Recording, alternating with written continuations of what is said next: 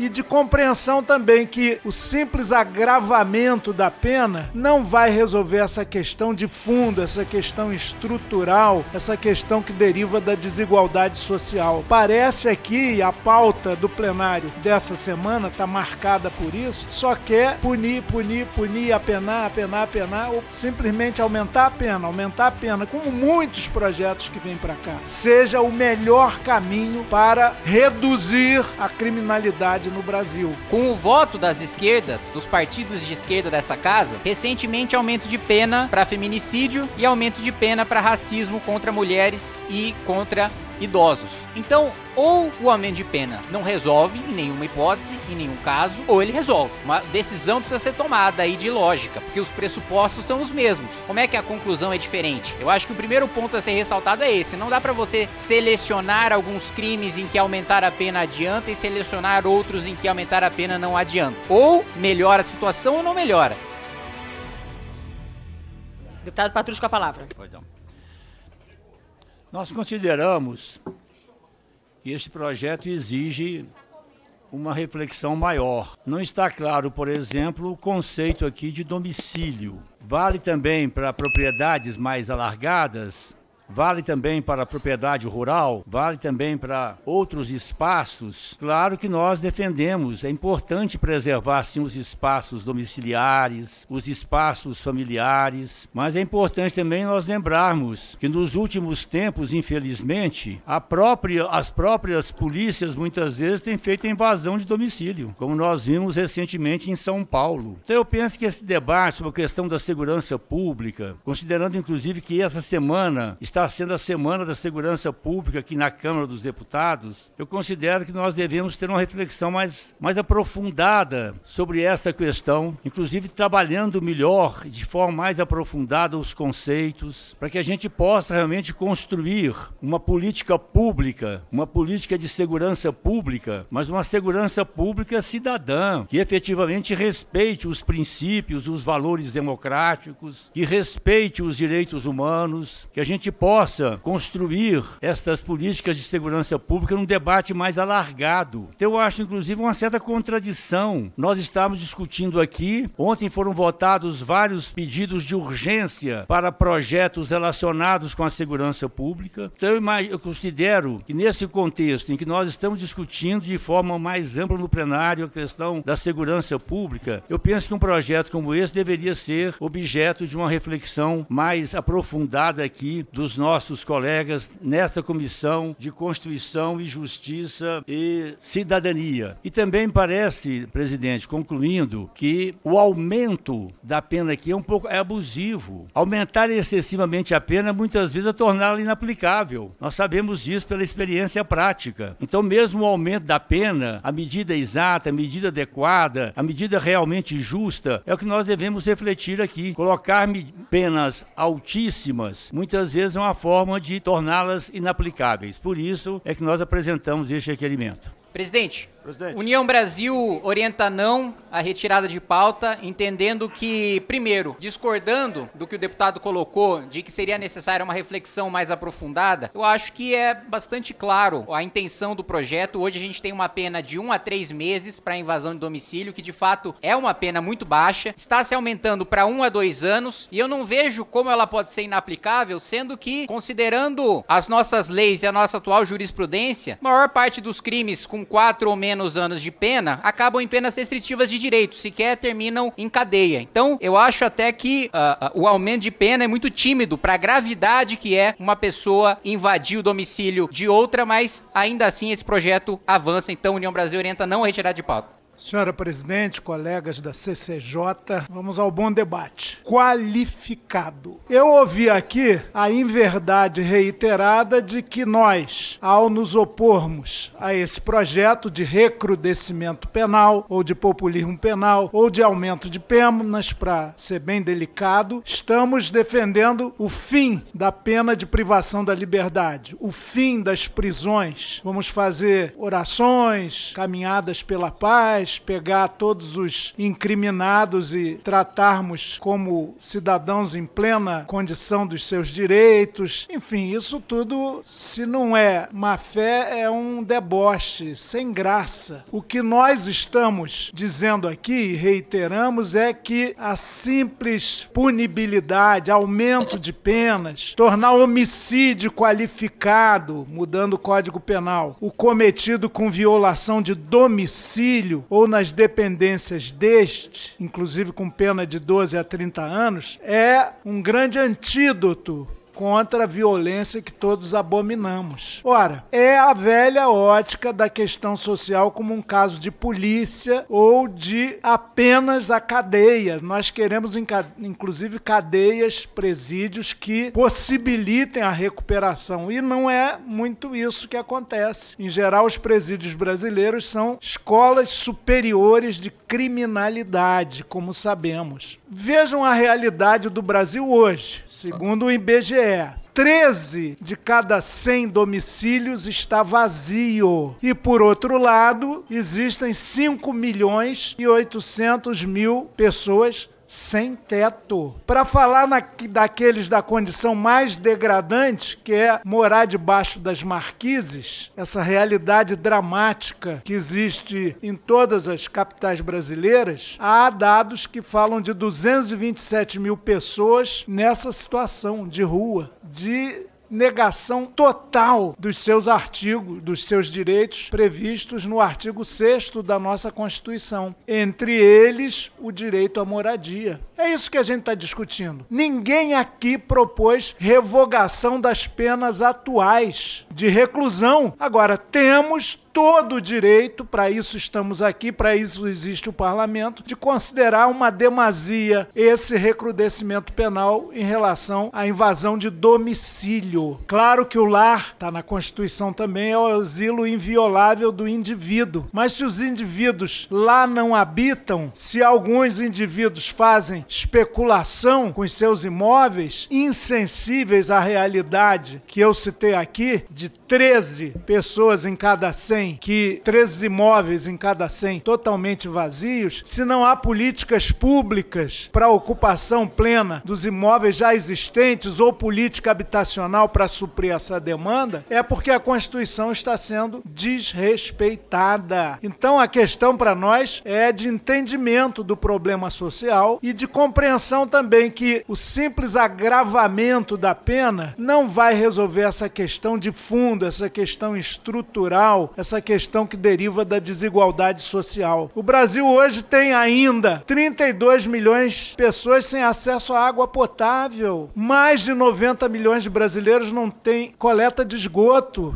Esses são dados do Instituto Trata Brasil. 8 milhões e 800 mil brasileirinhos e brasileirinhas jovens de 18 a 29 anos não conseguiram terminar o ensino médio e nem estudam e nem trabalham. São dados da realidade. A gente parece aqui, a pauta do plenário dessa semana está marcada por isso, só quer punir, punir, punir, apenar, apenar, apenar. O problema é que quem é apenado corretamente com privação de liberdade liberdade, não vê lá as condições de recuperação, de estudo, de trabalho, no regime de apartação social que a pena de privação de liberdade determina. Eu vi alguns aqui aproveitarem para atacar, atacar outro deputado, colega nosso, Guilherme Bolos, que é professor, filósofo, com especialização inclusive em psicanálise e líder meritório de um movimento social pujante no Brasil, que alguns aqui querem destruir, como qualquer movimento social. Abala a ordem social, é injusto, vamos manter o status quo de uma sociedade injusta e desigual. Esses movimentos são criminosos. O Guilherme Boulos liderou por muito tempo o movimento dos trabalhadores sem teto, um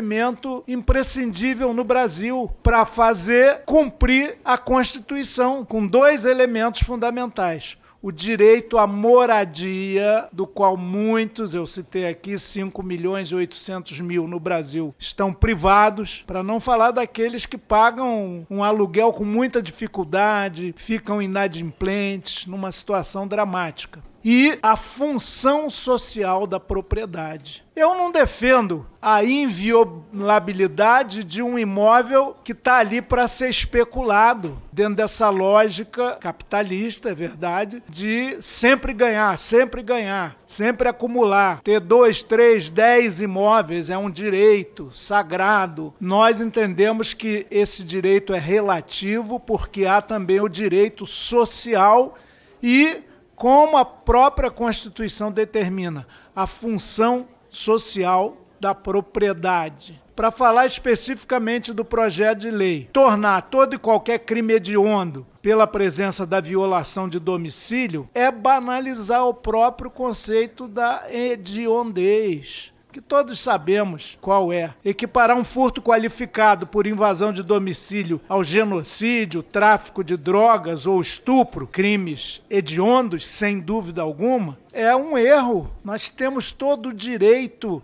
embora haja uma indicação de que essa comissão de Constituição, Justiça e Cidadania vá recusar é, essa nossa contestação e aprovar esse projeto, nós temos todo o direito de falar sobre essa realidade brasileira. Nós não somos admiradores não acreditamos, e essa é a essência da nossa argumentação aqui, que simplesmente aumentar a pena, aumentar a pena, como muitos projetos que vêm para cá, seja o melhor caminho para reduzir a criminalidade no Brasil. Quando se fala aqui, pode não estar tá explicitado no projeto, mas na argumentação de defesa, que isso aqui é também para inibir o movimento dos sem-teto, aí nós ficamos mais contra ainda. Presidente, eu quero inicialmente rebater o argumento de que aumento de pena não resolve, aumento de pena não adianta, aumento de pena não é fundamental. Primeiro porque o plenário da Câmara dos Deputados aprovou, com o voto das esquerdas, dos partidos de esquerda dessa casa, recentemente aumento de pena para feminicídio e aumento de pena para racismo contra mulheres e contra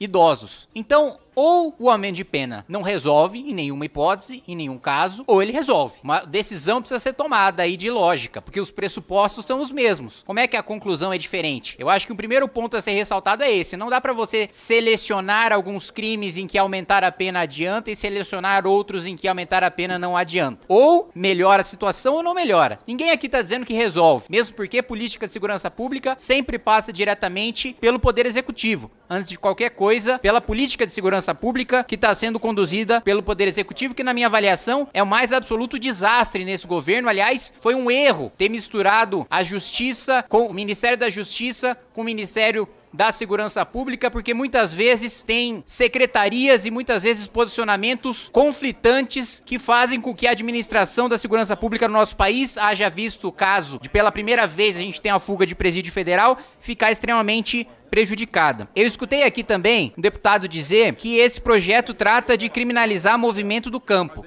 Nós não estamos discutindo aqui, nem em nenhum, nem no projeto principal, nem em nenhum dos projetos apensados, nem no relatório que foi apresentado pelo deputado, nenhum caso de propriedade rural. A gente está tratando aqui especificamente de invasão de domicílio, então eu acho importante não ter essa confusão. E aproveitar que foi citado que nós estamos no dia uh, dos direitos humanos para colocar que propriedade é um direito humano fundamental de primeira geração, aliás, e que sobre o que foi dito aqui em relação a movimentos que invadem casas como maneira, né, de fazer na realidade o que, que existe, né? Fala-se muito sobre existência de movimento em luta por moradia popular. Mas o que, que esses ditos movimentos fazem? Alguns, alguns deles invadem casas para fazer com que os seus militantes furem a fila dos programas habitacionais da prefeitura, do governo do estado ou do governo federal. Não contribuem absolutamente nada para que haja mais casas, para que haja mais habitação, para que o orçamento público contemple as necessidades de quem não tem casa. Não, tira a casa de quem não milita politicamente nesses movimentos para fazer com que quem assina a lista e fortalece a liderança daquele movimento para depois disputar cargo eletivo serve como massa de manobra para que alguns poucos ganhem dividendos políticos com aquele movimento para depois chantagear o poder público para fazer com que os seus militantes furem a fila de programas habitacionais.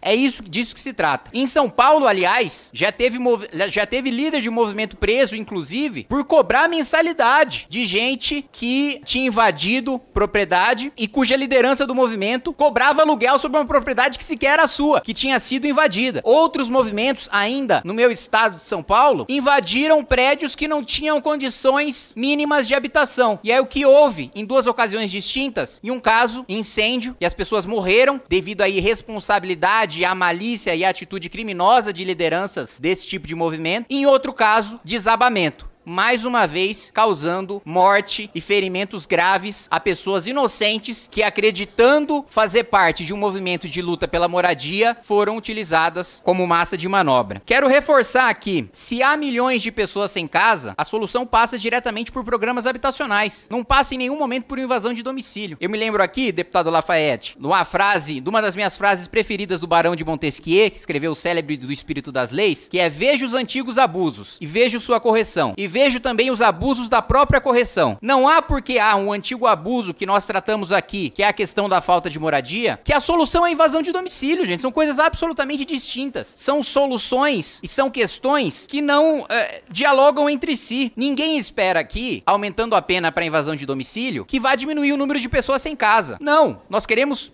punir quem invade o domicílio. Política pública habitacional, nós discutimos várias vezes nessa casa, em vários projetos diferentes. Olha, mas nós temos problemas de educação, nós temos problemas de saúde, nós temos problemas de habitação, e só o que se discute nessa semana é aumento de pena. Mas é claro, nós estamos na semana de segurança pública, nós vamos discutir pena. Quando nós estamos na semana de educação, nós discutimos projetos de educação. E aí eu posso chegar na semana de educação e falar: olha só, a segurança pública tá um caos, e nessa semana a gente só discute livro, professor professor, aluno? Bom, é claro, é a semana da educação. Eu posso chegar na semana da saúde, no plenário da Câmara e falar: tá vendo? Tem um monte de aluno, a gente tá nos piores rankings do PISA. A produtividade do brasileiro cresceu 10 vezes menos do que em países emergentes. A dívida pública tá estourando e a gente tá aqui debatendo o SUS. É claro, é a semana da saúde pública. Não, é assim, é, é, não é razoável a gente linkar uma coisa com a outra, quando na realidade nós estamos tratando de punição. Agora, dizer, dizer que a pena atual, caso a lei seja cumprida, ela é suficiente, meus amigos, a pena atual não dá nem prisão. A pena para que se está aumentando não dá nem prisão. É uma pena que vai ser convertida em restritiva de direito. Ninguém vai ser preso por isso, a não ser que haja, a não ser que haja reincidência. Hoje, um réu primário que invade um domicílio não vai preso. A pena vai ser convertida. Amanhã, com esse projeto aprovado, um réu primário que invade domicílio, pegue pena máxima de dois anos, não vai preso. A pena vai ser convertida em restritiva de direitos ou até vai ser oferecido um acordo de não persecução penal. E aí vocês querem me dizer que hoje já adianta um a três meses? Não dá nem,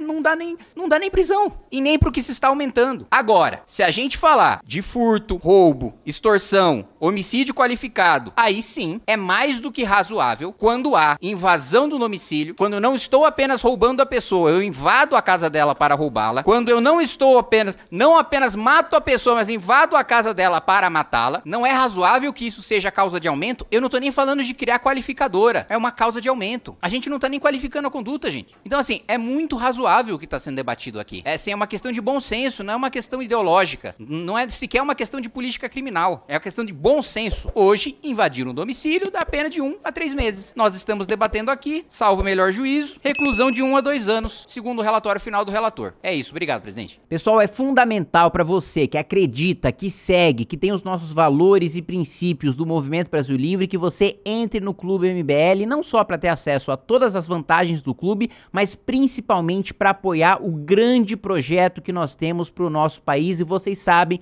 de que projeto eu estou falando. É só você clicar aqui nesse link que você vai poder ajudar o MBL e vai poder fazer parte dessa luta.